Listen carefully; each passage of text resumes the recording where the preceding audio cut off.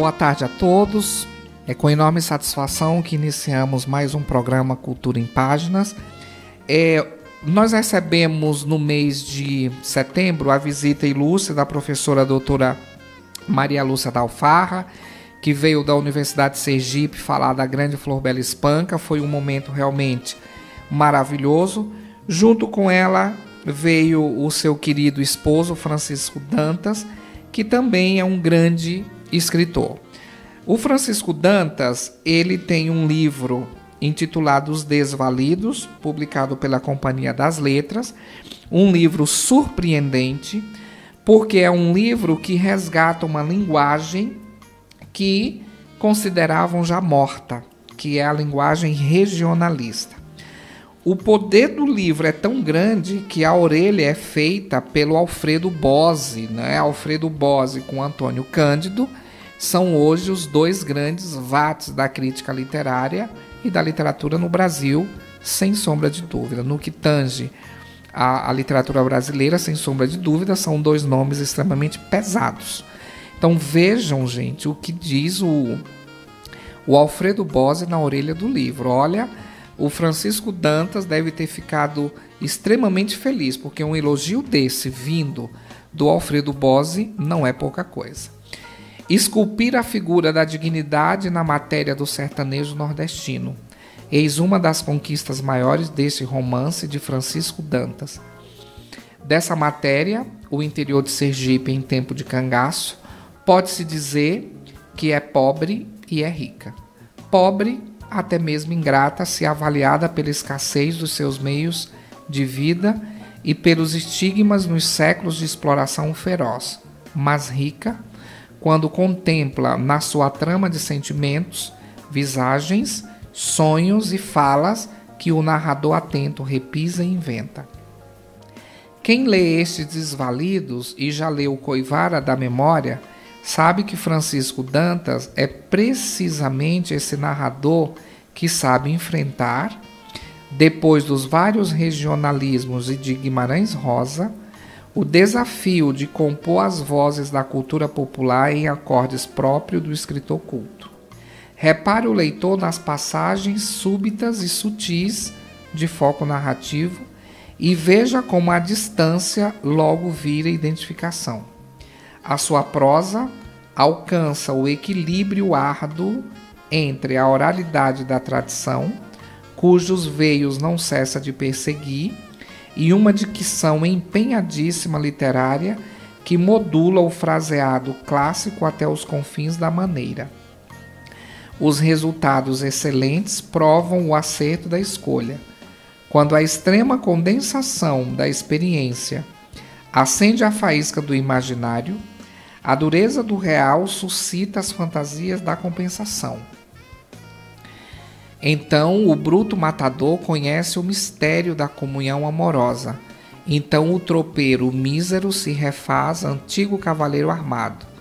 A esse ponto sobe a arte realista e poética de Francisco Dantas. Os Desvalidos, um livro raro, um texto inspirado, uma obra de caráter. Primoroso, né? Um elogio desse não é para qualquer um. Quem é Francisco Dantas? De origem rural, nascido no engenho do avô em Riachão de Dantas, Sergipe, em 41, Francisco Dantas, professor da Universidade Federal de Aracaju, tendo defendido a tese de mestrado sobre Osman Lins e de doutorado sobre essa de Queiroz em 90, essa de Queiroz, perdão. Em 1991 publicou Coivara da Memória Estação Liberdade, uma das melhores estreias da ficção brasileira recente. Atualmente, claro, o Francisco Dantas ele está aposentado, lendo e publicando coisas realmente maravilhosas, né? Olhem os comentários do livro, né? Elogiadíssimo pela crítica por seu primeiro romance, Coivara da Memória, Francisco Dantas voltou a surpreender com Os Desvalidos. As palavras escolhidas na tradição são palavras grávidas de uso, palavras seculares, formando um grande mostruário de um espantoso mundo desconhecido, este imenso Caruaru que é o Brasil. Arnaldo Jabô, Folha de São Paulo. O vocabulário de Dantas, sem ser pedante, chega a ser prodigioso. Sua verbalidade mimetiza a poética do artesanato. Antônio Medina Rodrigues, o Estado de São Paulo. O milagre de resgatar um estilo dado como morto e fazê-lo ressurgir com vigor da novidade confirma Francisco Dantas como uma das boas e raras novidades da literatura brasileira. Revista Veja. E para finalizar, vamos ler o três parágrafos do primeiro capítulo. Lampião morreu, Lampião morreu. Apanhado de susto, no papoco da notícia que acaba de atroar, Coriolando estremece de coração em rebates, pegando a boca no peito. Freme-lhe o couro, esbarra a costura da chinela e apura as ouças de faro aguçado, espichando o pescoço para fora da cacunda. Será, meu pai do céu, que o Herodes enfim desencarnou? Não, não pode ser. Na certa, isto é capricho da idade. É o tal zumbido que se arranchou nos miolos fazendo desta cabeça uma casa de mangangá, a ponto de me rodar o juízo desmareado, que bem carece umas cunhas para não ficar assim tão bombardeadeiro. Vá ver que é algum moleque me fazendo caçoada.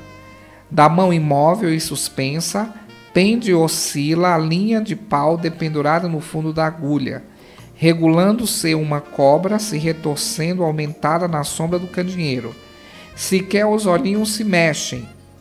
Tal um cachorro sutil de focinho pegando o vento. Furando a escuridão lá de fora, de fora relampeia aqui dentro a mesma voz. Morreu peste cego, ouvira bem? Trafega-lhe no corpo um arrepio. Fora mesmo esse fio de mel que escorrera na zoada para lhe adoçar as entranhas? Tomara, santo Deus, tomara e sem ter mão de si, desgovernado numa vertigem sem qualquer ação, Coriolando larga a linha para uma banda e pula do banquinho a rosnar vitoriado. Toma lá, Satanás dos infernos! Leiam, sejam felizes, certamente a leitura de Os Desvalidos, de Francisco Dantas, vai causar um prazer imenso nos leitores vão ao sebo da Luísa ou encomendem a obra pela estante virtual. E para finalizar, nós vamos ouvir uma canção intitulada A Seca, na voz de Alceu Valença. Mais uma vez, meu muito obrigado a todos. Leiam, sejam felizes e em novembro tem mais.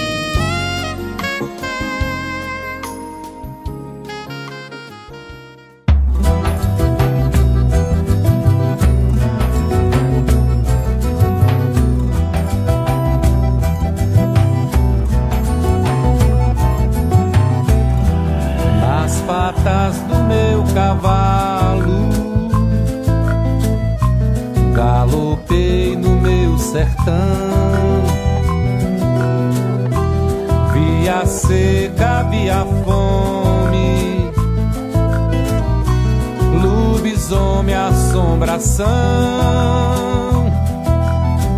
Riacho virou caminho, graveto virou tição. E as pedras queimando em brasa, asa branca na amplidão.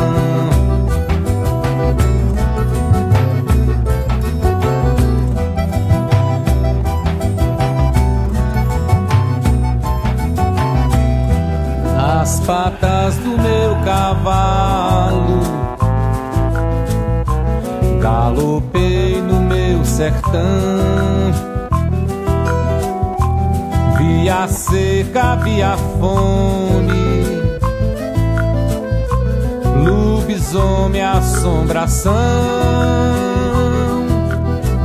Riacho virou caminho, graveto virou tição, e as pedras queimando em brasa, branca na amplidão.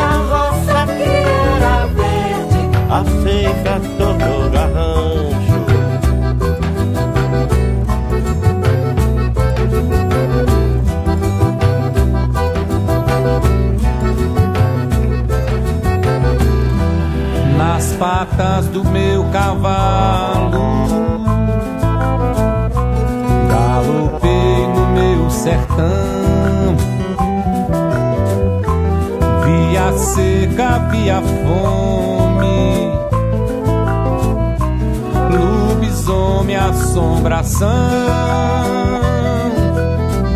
Riacho virou caminho. Graveto virou tição E as pedras queimando em brasa Asa branca na amplidão